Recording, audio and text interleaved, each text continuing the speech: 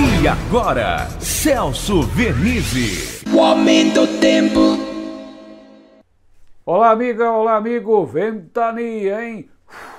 Sopra forte, rajadas de até 90 km horários já causaram problemas pela madrugada e poderão causar ainda durante o dia. O ciclone extratropical que está lá no sul, causando muitos problemas para Santa Catarina e principalmente o Rio Grande, está saindo alto mar adentro e a circulação dos seus ventos fortes também afasta a instabilidade gradativamente para o mar.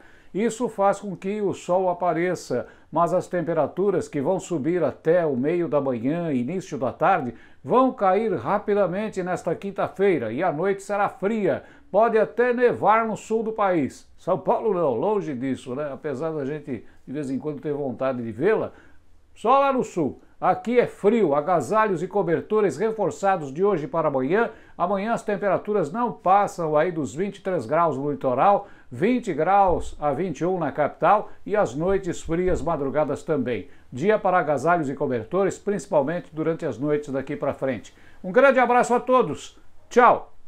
O aumento tempo.